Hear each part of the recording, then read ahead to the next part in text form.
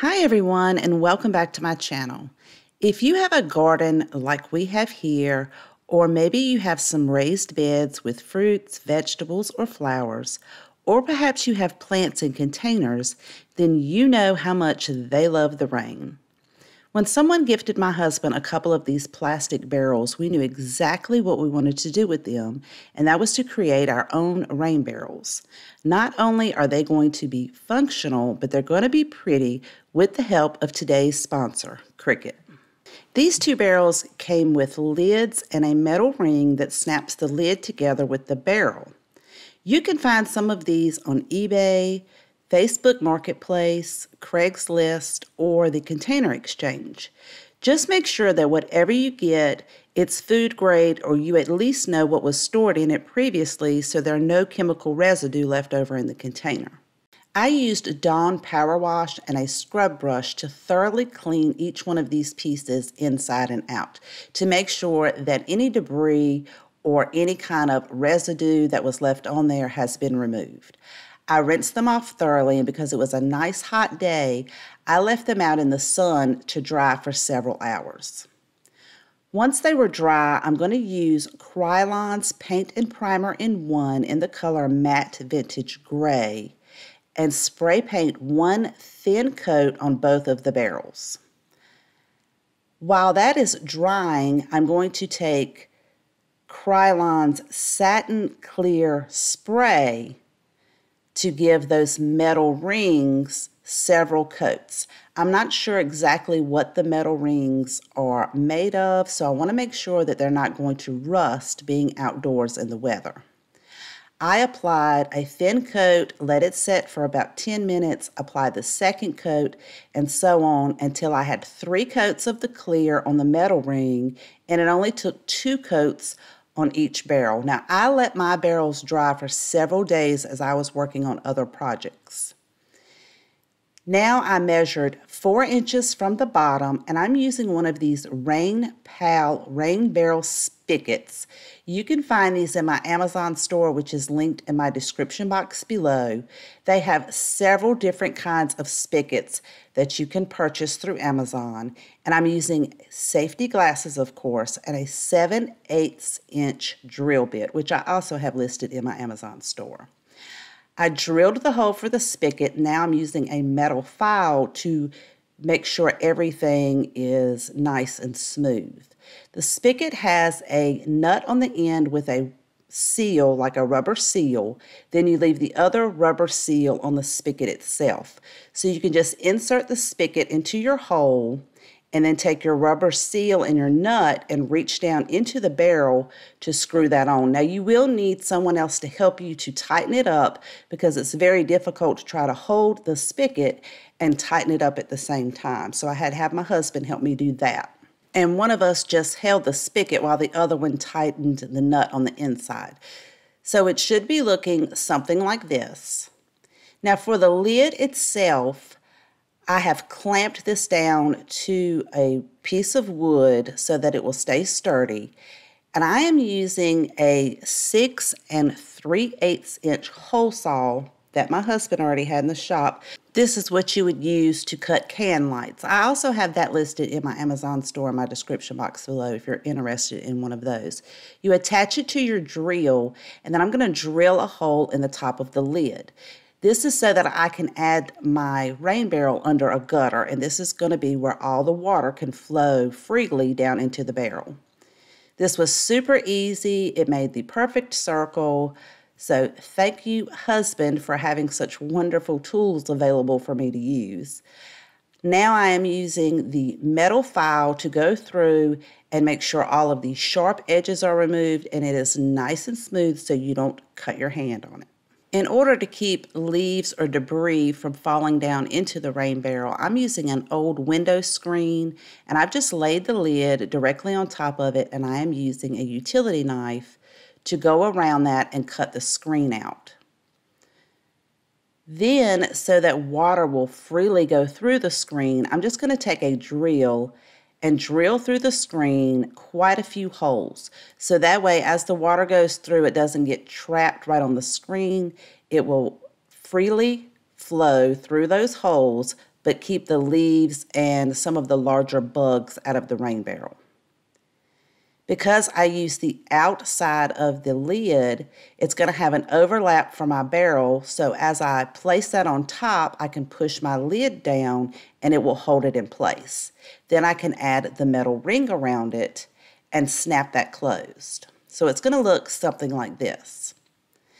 So you can certainly use it just as it is, but let's make it pretty by using the Cricut. So I went over to Design Space and started a new project.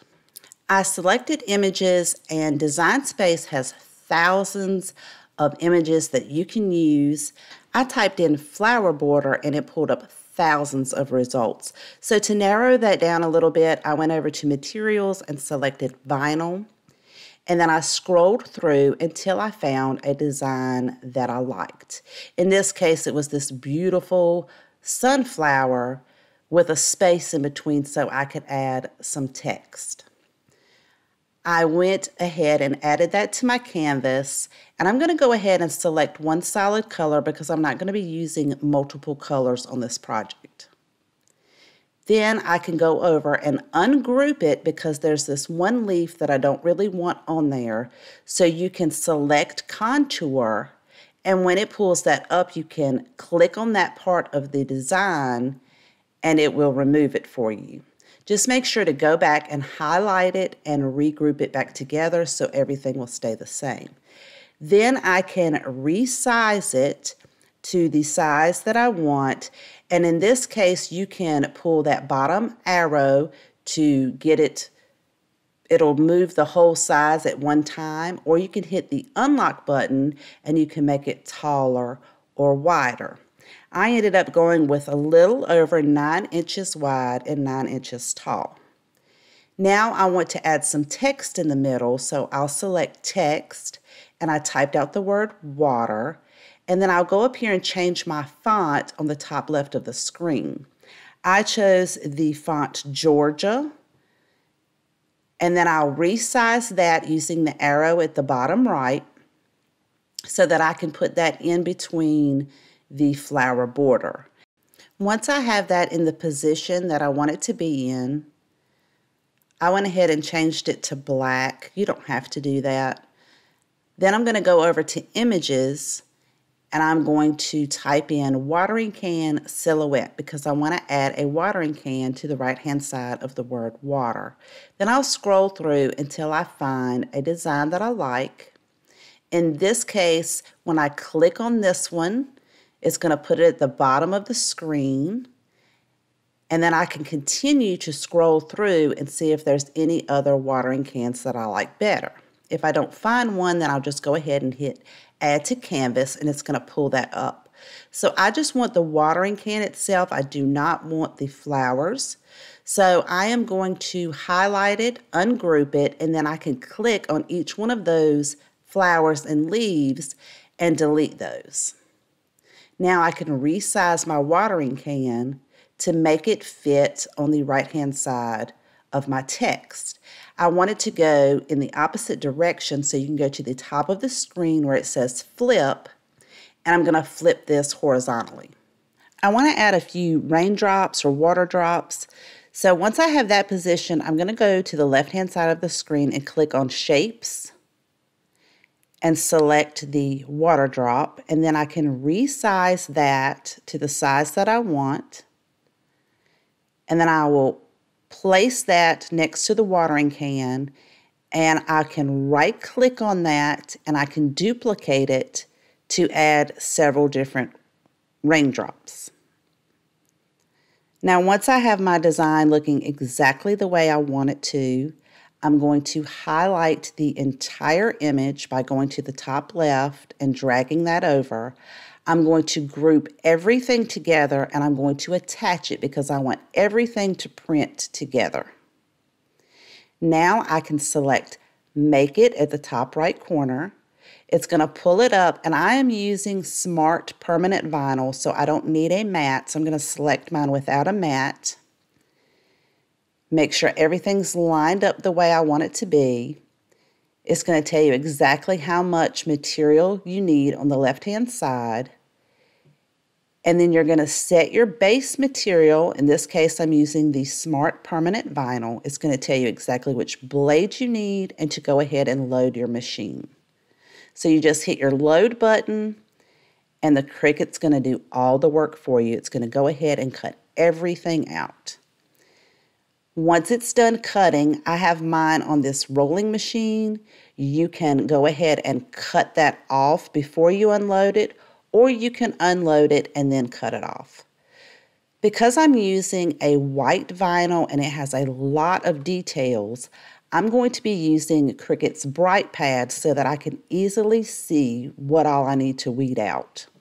So using the weeding tool, I'm going to go ahead and remove everything that I don't want to stay on my decal. Now this is a little bit tedious because I had a lot of smaller parts. So I found that it was easier for those small tiny parts like inside of the flower to use the tweezers to remove all of that so it doesn't stick to my project. Once I have everything weeded out, I can go ahead and add my transfer tape to the top of the decal. And then I'm going to burnish everything down, which means you're just going to take that flat scraper. And I like to go in all different directions to make sure it's going to stay on my transfer tape. Then I'm going to flip it over and peel the backing off and make sure that my design stays on the transfer tape. And if some of it doesn't want to stay down, I can push my backing back down and scrape it from the back side to make sure it adheres to my transfer tape. So now we can head out to our rain barrel and go ahead and add our beautiful decal to it. So I'm just going to add mine right into the center, make sure everything's straight, burnish it down again to make sure it's going to stay so that I'll be able to remove the transfer tape. And you want to pull your transfer tape at an angle and if things don't want to really stay down, just kind of push your transfer tape back up, burnish it again until all of the design stays on your project and you can remove all of your transfer tape. Then I like to go back over it, make sure everything is pushed down and nice and flat. Now, before we start on the other rain barrel, if you're enjoying today's projects and you haven't done so already, I would love for you to click that subscribe button and become a part of our community here at Country Lily DIY Decor. And if you'd like to visit me on my other social media accounts, all those links are in my description box below. For the second barrel, I want to create a faux brick pattern. So I've headed over to Design Space. I'm going to select Shapes. I have selected the rounded cornered rectangle. I'm going to resize that to the size of a common brick, which is 8 inches by 2 inches. And then I can right click on that and duplicate it. Then using the grid pattern on my canvas, I can line everything up and have the proper spacing. Then I'm going to duplicate it again and put the next brick in the center of those two. And then as your image is getting larger, you can go to the bottom left hand of your screen and you can zoom out or make your image a little bit smaller so you can see everything on your screen. And I'm going to just continue to duplicate and line everything up just like the first two sets. Then I can group them all together. And then I want to make this a stencil, so I'm going to select shapes and I selected a square and I'm going to make it larger than my brick pattern. Then I'm going to right click on the brick pattern and bring it forward so I can see everything and I can size my rectangle to be larger than the pattern itself. Once I have it the size I want it, I'm going to group it and attach it together. And then I'm going to make it.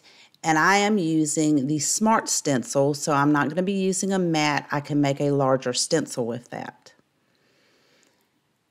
Then I can go ahead and select the Smart Stencil, load it into my machine, and my Cricut will go ahead and cut the pattern out for me.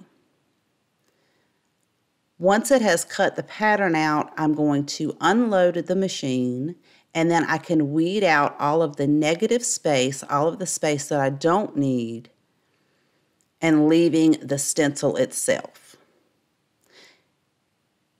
Then I can take some transfer tape and apply it to the top of my stencil and burnish it down just like you're burnishing a decal.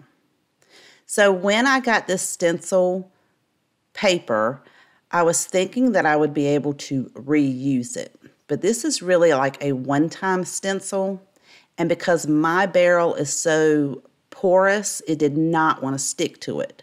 The transfer tape didn't want to stick to it, and the stencil didn't want to stick to it.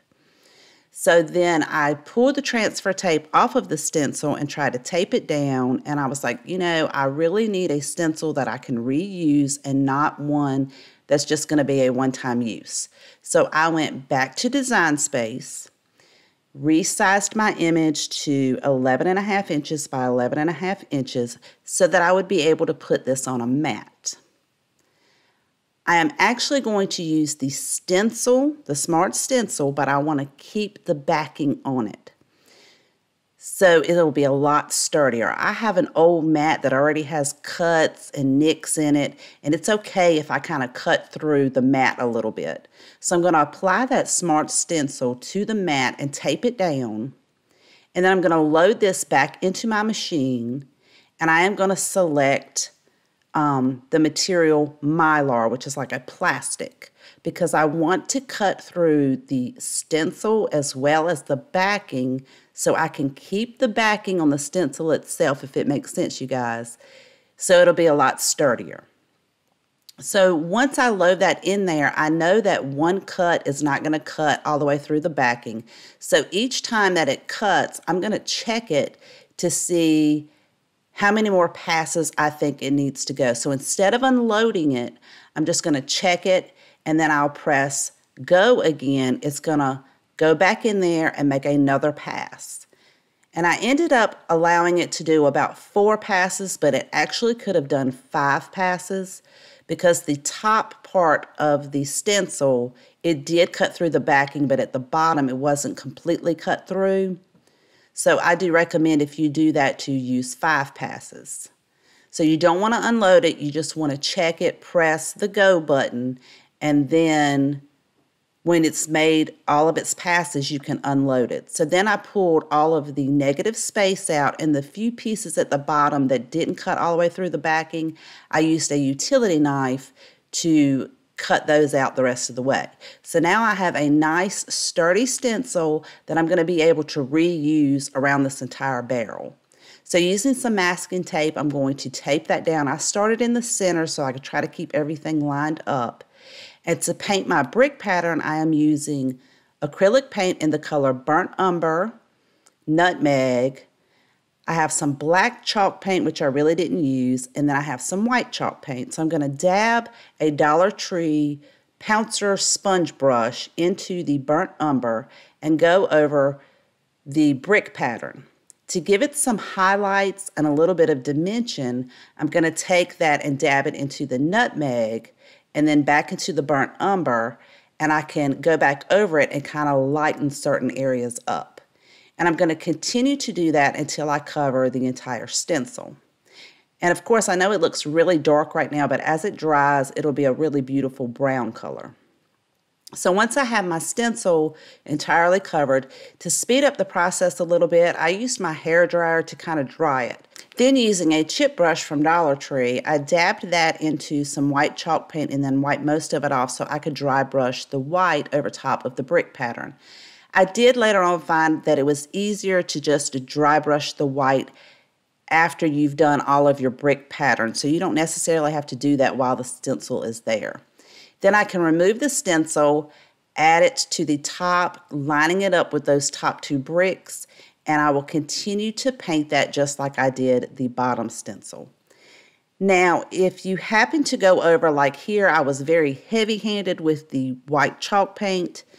Later on, I'll show you how you can kind of fix that so it doesn't have to be so distressed. But I'm going to continue to do that around the barrel, just adding the stencil and lining it up with the other bricks. Now here, to go over that white distressed chalk paint, I added a little bit more brown on top of those bricks, and it really gave it like a 3D dimensional look. So this is how it's looking and I allowed it to completely dry for like a couple of days. And then I took Krylon's Color Max Clear and I gave this three coats of the clear spray to protect that chalk paint.